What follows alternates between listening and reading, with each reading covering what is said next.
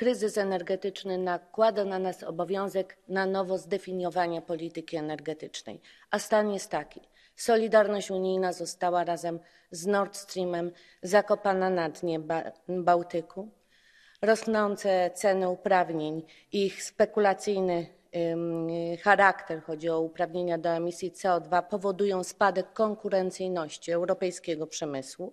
Jeśli chodzi o perspektywę energetyczną zaproponowaną w pakiecie Fit for 55, to pogłębi ona z pewnością ubóstwo energetyczne, które już i tak jest bardzo duże. Wkrótce, jak się szacuje, sięgnie 80 milionów, dotknie 80 milionów ludzi.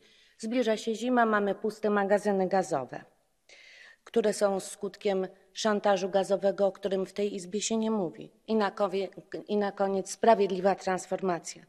Największe koszty transformacji podniosą takie kraje jak Polska. Czy to w ramach właśnie tej sprawiedliwej transformacji Komisja Europejska bezprawnie blokuje środki w ramach KPO? Dziękuję.